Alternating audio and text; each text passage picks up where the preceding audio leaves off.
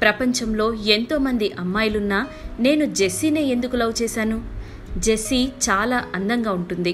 Classy బాగా చదువుకుంది. తనకొక స్టైల్ ఉంది. And sexy too. కార్తీక్ మనసు నిండా నిండిపోయింది జెస్సీ. కార్తీక్ తెలుగు అబ్బాయి. జెస్సీ మలయాళీ అమ్మాయి. ఈ క్రాస్ బార్డర్ లవ్ స్టోరీని నెరేట్ చేస్తున్నాడు గౌతమ్ మీనన్. మహేష్ బాబు చాలా శ్రద్ధగా వింటున్నాడు. ఏదో ట్రాన్స్లోకి వెళ్ళిపోయినట్టుగా సీన్స్ షార్ట్స్ ఆర్ఆర్ బీట్స్ అన్నీ చెప్పేసుకుంటూ పోతున్నాడు గౌతమ్.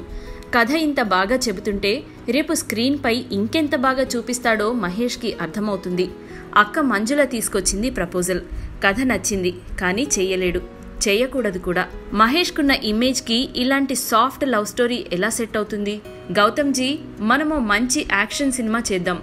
మీరెప్పుడంటే అప్పుడు నేను రెడీ. చెప్పాడు మహేష్ నవ్వుతూ. దట్స్ ఇట్ అక్కడితో ఆ కథ ఎండ్. గౌతమ్ మీనన్ ఇలా అనుకున్నాడంటే అలా సినిమా మొదలెట్టేస్తాడు. మహేష్ వద్దనుకున్న కథతో తమిళంలో శింభు త్రిషతో విన్నయ్ తాండి వరువాయ మొదలెట్టేశాడు. ఇక్కడేమో మంజులను ఆ కథ హాంట్ చేస్తూ ఉంది. తెలుగులో ఇలాంటి ప్యూర్ అండ్ పొయిటిక్ లవ్ స్టోరీలొచ్చి చాలా ఏళ్ళైపోయింది. ఇప్పుడు చేస్తే ఆడియన్స్ ఖచ్చితంగా కనెక్ట్ అవుతారు. మంజుల మళ్ళీ కలిసింది గౌతమ్ని. దీన్ని సైమల్టేనియస్గా తెలుగులో కూడా చేద్దాం మంజుల ప్రపోజల్. నాకేం ఇబ్బంది లేదు. మరి హీరో? అడిగాడు గౌతమ్. మంజులకు నాగ చైతన్య గుర్తొచ్చాడు. అప్పుడే జోష్తో లాంచ్ అయ్యాడు క్యూట్ బాయ్. గౌతమ్ని తీసుకుని నాగార్జునను నాగ చైతన్యను కలిసింది. కథ వినగానే నాగ్ చైతన్య ఇమీడియట్గా రెస్పాండ్ అయ్యారు. Project set. ఇక మిగిలింది జెస్సీ క్యారెక్టర్. తమిళంలో చేస్తున్న త్రిషను ఇక్కడ కంటిన్యూ చేయలేరు.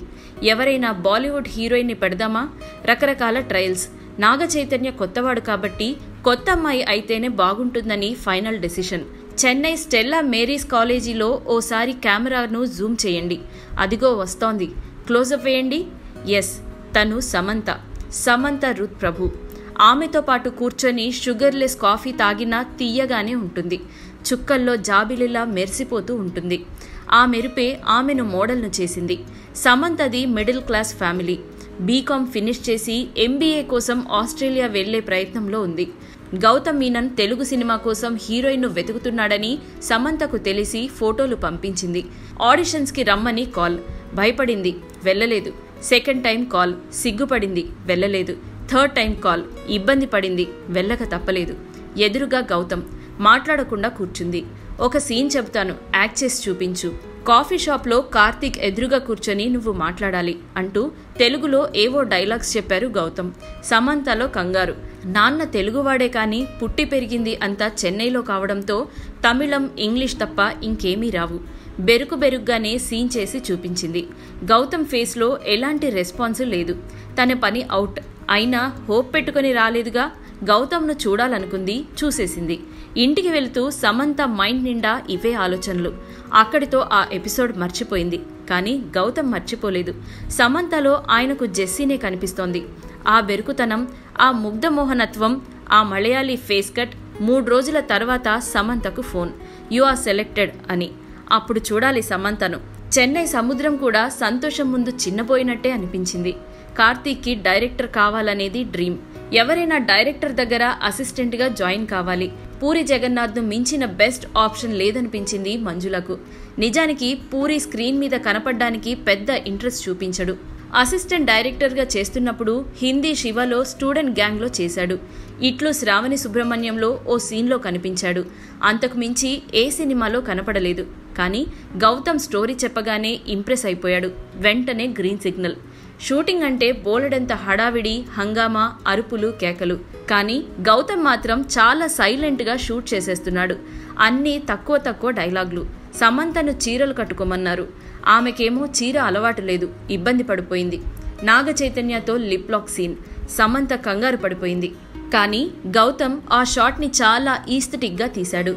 Alleppey Chennai Malta Kerala Tiruchi Thanjavur New York Rome. ఇలాంటి చోట్ల బ్యూటిఫుల్ లొకేషన్స్ని కెమెరాలో క్యాప్చర్ చేశారు. గౌతమ్కో అలవాటుంది. క్లైమాక్స్ ముందు రాసుకోడు. ఎయిటీ పర్సెంట్ వరకు స్క్రిప్ట్ రెడీ చేసుకొని షూటింగ్కి వెళ్ళిపోతాడు. షూటింగ్ మధ్యలో క్లైమాక్స్ రాసుకుంటాడు. దీనికేమో సాడ్ ఎండింగ్ అనుకున్నాడు. మంజుల మాత్రం హ్యాపీ ఎండింగ్ కావాలని పట్టుబట్టింది. ఓకే తమిళ్కి సాడ్ తెలుగుకి హ్యాపీ. కార్తీక్ సినిమా డైరెక్ట్ చేస్తాడు. ఆ సినిమాకి హీరో హీరోయిన్లు కావాలి కదా? గౌతమ్ ఇక్కడో చిన్న తమాషా చేశాడు. తమిళ వర్షన్లో నాగచైతన్య సమంతలతో ఆ గెస్ట్ రోల్స్ చేయించాడు. తెలుగులో షింబో త్రిషతో యాక్ట్ చేయించాడు. తెలుగులో జెస్సీ అనే టైటిల్ పెడితే బాగుంటుంది కానీ లవ్ స్టోరీ అనే ఫీల్ రాదు. ఏదైనా పోయిటిక్ టైటిల్ పెట్టాలి. ఏదైనా మంచి పాటలోని పల్లవి పెడితే ఒక్కడులో నువ్వేం మాయ చేశావో కానీ అంటూ ఓ పాట ఉంది. Ye Maaya Chesave title done. Total budget పన్నెండున్నర కోట్లు. గౌతమ్కి మూడు కోట్లు రెహమాన్కి రెండు కోట్లు రీ రికార్డింగ్కి యాభై లక్షలు నాగ చైతన్యకు శాటిలైట్ రైట్స్. ఇవి రెమ్యునరేషన్స్. రెండు వేల పది వ్యాలంటైన్స్ డే వెళ్ళిపోయిన పన్నెండు రోజుల తరువాత ఏం మాయ చేశావే ప్రేక్షకుల ముందుకొచ్చింది. సిల్వర్ స్క్రీన్పై ఓ రొమాంటిక్ పోయిట్రీ చదువుతున్న ఫీలింగ్. రీ రికార్డింగ్ విజువల్స్ అయితే ఎక్స్ట్రాడినరీ. నాగ చైతన్య సమంత పెయిర్కి డిస్టింక్షన్ మార్క్స్. ఏఎన్ఆర్ నాగార్జునలాగా నాగ చైతన్య రొమాంటిసిజంలో ట్రేడ్ మార్క్ చూపించాడు. సమంత అయితే అప్పుడే వికసించిన రోజా పువ్వులా ఫ్రెష్గా అనిపించింది. ముఖ్యంగా ఆమె వాయిస్. డబ్బింగ్ చెప్పిన చిన్మయిదే ఆ క్రెడిట్. ఒక్క హిట్తో సమంత కెరీర్ రూపురేఖలే మారిపోయాయి. గౌతమ్ ఈ సినిమాతో ఒక స్టెప్ ఎదిగాడు. పెద్ద పెద్ద వాళ్ళు కూడా అప్రిషియేట్ చేశారు. సత్యన్ అందిక్కాడ్ లాంటి టాప్ మలయాళీ డైరెక్టర్ ఇప్పటి వరకు కేరళను ఇంత అందంగా ఎవరూ చూపించలేదని మెచ్చుకున్నాడు. ఈ విషయంలో కెమెరామ్యాన్ మనోజ్ పరమహంసదే క్రెడిట్. అతనికి ఇదే ఫస్ట్ సినిమా. గౌతమ్ మీనన్ జీవితానుభవాలు ఈ సినిమాలో చాలానే ఉన్నాయి. ఓ రకంగా ఇది ఆయన సెమీ బయోగ్రఫికల్ ఫిలిం. అందుకే దీనికి సీక్వెల్ చేస్తానని ఎప్పటి నుంచో చెబుతున్నాడు. మరి ఈసారి ఏ మాయ చేస్తాడో చూద్దాం.